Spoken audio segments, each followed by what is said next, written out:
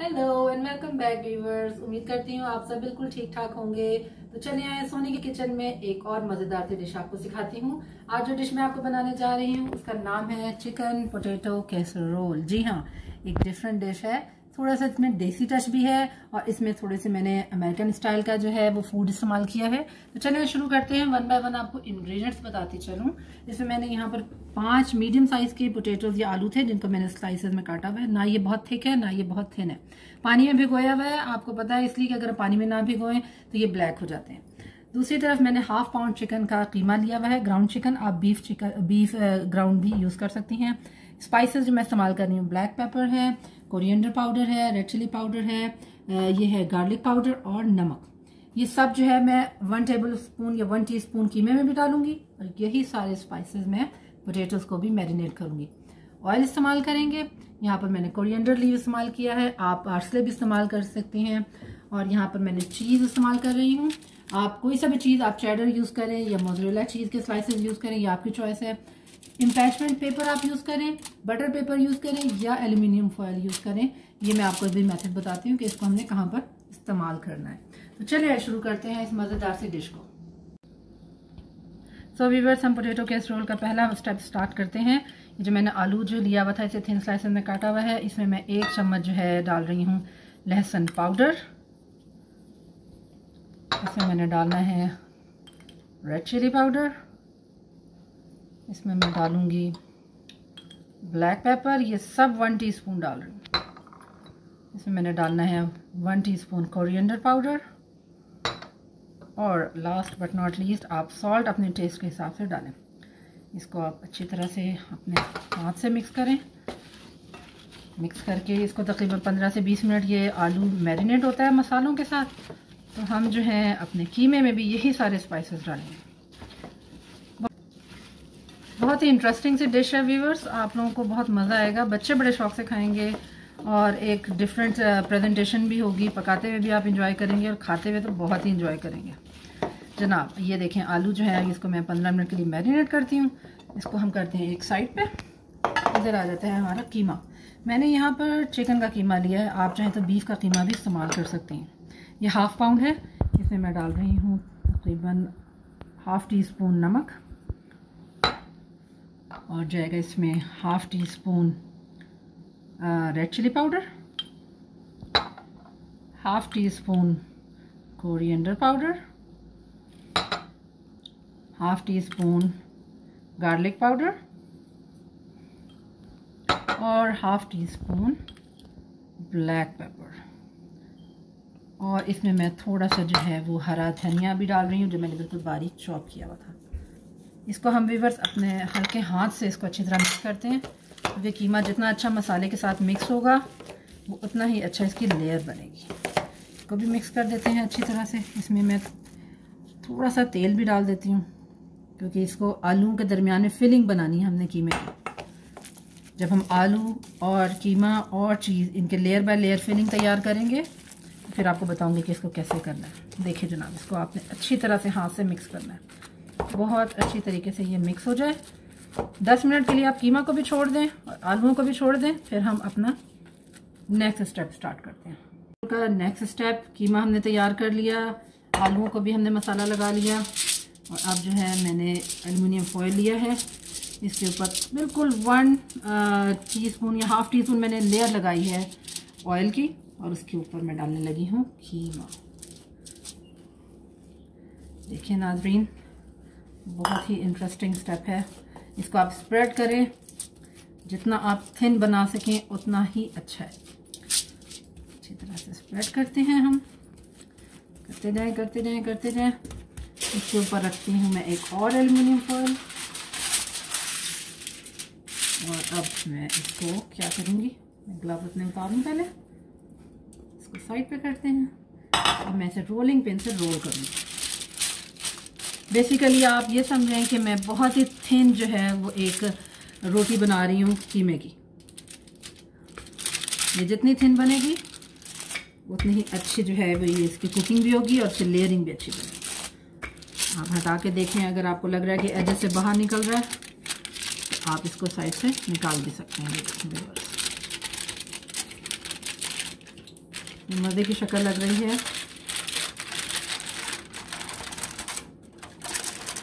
जी, बिल्कुल thin layer बन चुकी है। अब क्या करना है मैंने? वेवर्स अब मैं इसकी कटिंग करूँगी बारीक बारीक स्लाइसेस की। तो इसको थोड़ा सा आप और अगर हाथ से इसको ऐसे कर सकते हैं प्रेस कर लें। और अब मैंने इसकी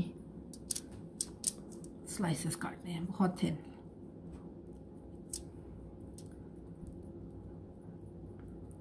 जितना थिन काटेंगे, उतनी आसानी से जो है ये इसको मैं कुक कर सकूँगी। चलिए व्यूवर्स इसकी कटिंग हो गई।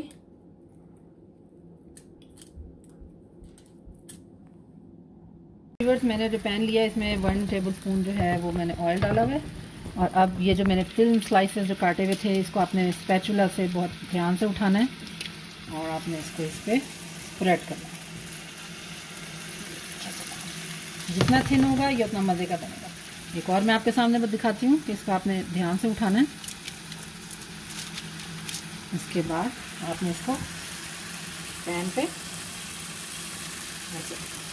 इस तरह से ये सारे पीसेस जो हैं, ये तकरीबन ट्वेल्व पीसेस हैं। मैं इसका स्ट्रिप्स थिन जो है, वो इसको हल्का सा फ्राई कर लेती हूँ। फिर हम पोटेटो के साथ लेयरिंग करेंगे। तो वीवर्स आप देख सकते हैं, हमारे जो थिन स्लाइसेस जो हमने चिकन का बनाया था, ये पाँच मिनट मैंने पकाया है, इसको फ्लिप भी कर लिया है ये बिल्कुल रेडी है। अब हम लेयरिंग का काम स्टार्ट करते हैं। जी वीवर्स अब हम जो है अपना पोटैटो चिकन कैसरोल का जो है लेयरिंग स्टार्ट करते हैं। लेयरिंग बनाने से पहले देख लें, आपको मैं दिखा दूँ चिकन बिल्कुल तैयार है। हमारे पोटैटोज जो है मैरिनेट होकर भी तैयार है। कोरिएंडर लीव्स भी कटे हुए हैं ऑयल भी रखा हुआ है, और चीज़ भी मेरे पास मौजूद है। इस दौरान मैंने अवन को 350 डिग्री फ़ारेनहाइट पर प्री हीट के लिए स्टार्ट कर दिया। ताकि जब तक ये काम स्टेप मरहला हमारा कंप्लीट हो तो हमारा अवन भी रेडी हो बेकिंग के लिए। चलिए शुरू करते हैं अपना ये पहला मरहला। आपने कैसे करना है? आपने इसकी लेयर लगानी है आलू एक तरफ़।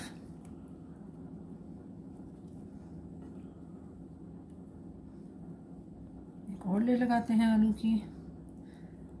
एक और आपको मेथड भी बता सकती हूँ। आप इस बेकिंग या अवन कंटेनर को आप ऐसे स्टैंडिंग पोजीशन पे भी रख सकती हैं। तो जब आप लेयर लगाएँगी तो बहुत इजीली लगेगा। तो व्यूवर्स मैंने इसको ऐसे लीनिंग पोजीशन में पकड़ा हुआ है, अपने बेकिंग ट्रे को, ताकि लेयरिंग आसान हो। मैंने दो लेयर लगाए हैं आलू के, इसके ऊपर हल्का सा जो है आप हरा धनिया छिड़क दें। और इसके ऊपर मैंने डाल देना है चिकन अब फिर अब आएगी इसके ऊपर लेयर आलू की।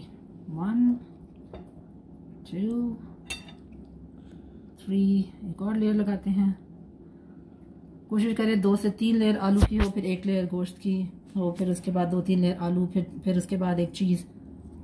जनाब, ऐसे हो गया? इसके ऊपर फिर मैं डालती हूँ। ये कोरिएंडर लीव्स और इस पर लगाते हैं हम चिकन फिर एक और लेयर लगती है नेक्स्ट इस तरह से व्यूवर्स लेयर बाय लेयर लगाने से ये होगा आपको कि आप जो हैं वो ऐसे लीन पकड़ा हुआ मैंने, ताकि वो इजीली जो है वो लेयर एक दूसरे के ऊपर लग सके। आप इसका, आप ये भी कर सकती हैं कि आप जो है दीवार का सहारा दे के ट्रे को रख लें, खड़ा कर लें और फिर उसके बाद उसके ऊपर आलूओं की लेयर लगाएँ और सारी चीज़ों की। अब जनाब इसके ऊपर फिर आएगी धनिया के पत्ते और उसके ऊपर आएगा चिकन फिर एक और लेयर आलू की।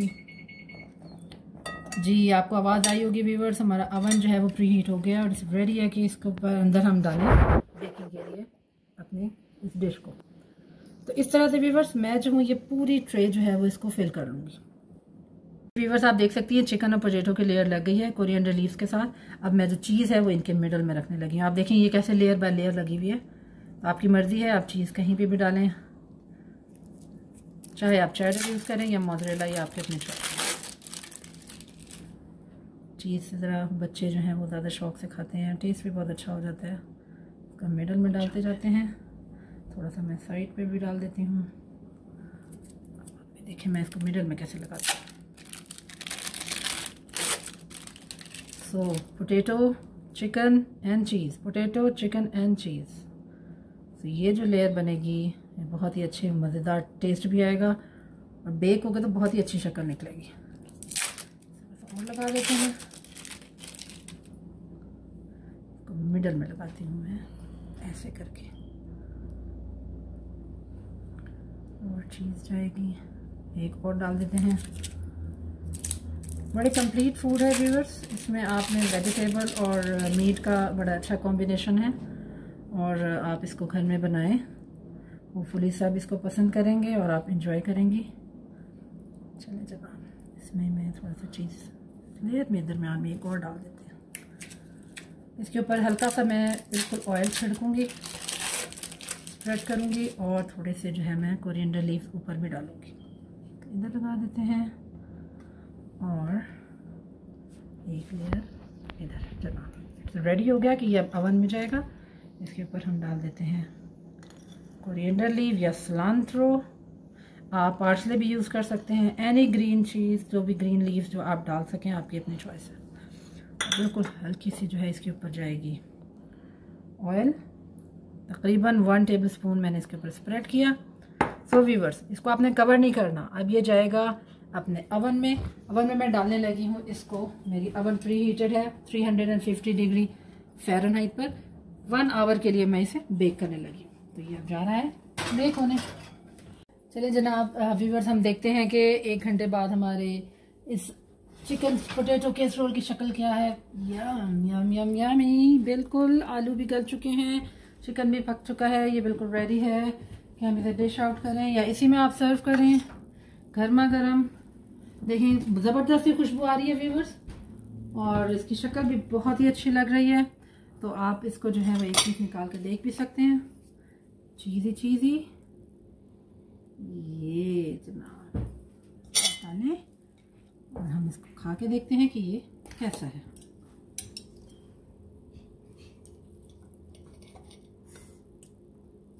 ऐसी खुशबू है। सबको पसंद आएगी व्यूवर्स ओके सो गुड तो वीवर्स उम्मीद करती हूँ आपको आज की रेसिपी भी अच्छी लगी होगी। अपने फीडबैक से मुझे ज़रूर आगाह कीजिएगा। वीडियो को लाइक करें सब्सक्राइब करें और थम्स अप दें शेयर करें और बताएँ कि आपको आज की डिश कैसी लगी। अपना बहुत ख्याल रखिएगा। अल्लाह हाफिज़